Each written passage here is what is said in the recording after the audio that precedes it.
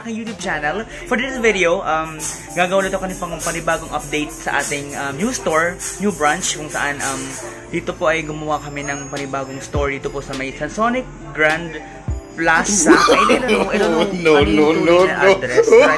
Sansonic Electronics Plaza yata yung kakalam po. So, ayun guys, uh, for this video, gusto kong i-share sa inyo na um, itutur ko kayo ngayon. Uh, hindi pa to- totally um, maayos lahat kasi nga um, medyo may mga bagay-bagay pa rin na hindi ko pa alam kung saan ko i-display. Pero um, gusto ko lang sanang i-shoutout pala sa lahat ng mga subscribers ko dyan. Thank you so much mga ka-warriors.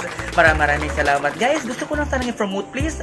Um, ilalagay ko po dito sa screen na to ang um, vlog po ni Fernand Motovlog. Please, pakisubscribe na mo po yung kanyang YouTube channel and pakipanood na rin lahat ng mga video and always um, share and like and subscribe na rin po. Thank you so much mga ka-warriors. Pero bago ko bago po simula ng lahat ng ito, so gusto ko sanang ipakita sa inyo yung aking um, panibagong branch na na-open namin kailan lang. So medyo may mga times pa rin na hindi pa namin alam kung saan ko ilalagay yung mga um, item, mga stock po namin. So, gusto ko lang i-tour sa inyo at ipakita sa inyo yung aming panibagong brand. At uh, lalagay ko na rin po sa description box yung address nito para po um, sometimes or pag hindi naman kayo busy, um, pwede rin kayo makavisit dito po sa aming panibagong branch, panibagong store po namin.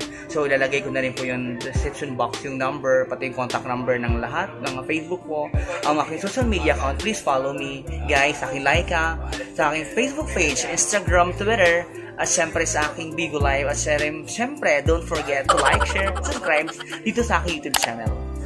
Thank you so much Mama ka-warriors!